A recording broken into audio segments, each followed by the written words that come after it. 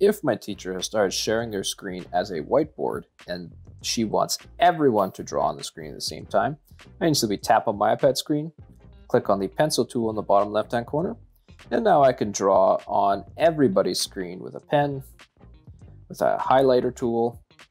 There's a lot of different tools that I can use. I can also clear all of my drawings with a simple click of the trash can.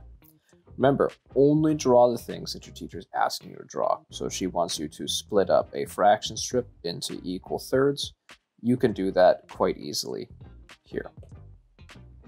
Your teacher is also able to clear all of your drawings as well as turn off your annotation features if you're using the functions inappropriately.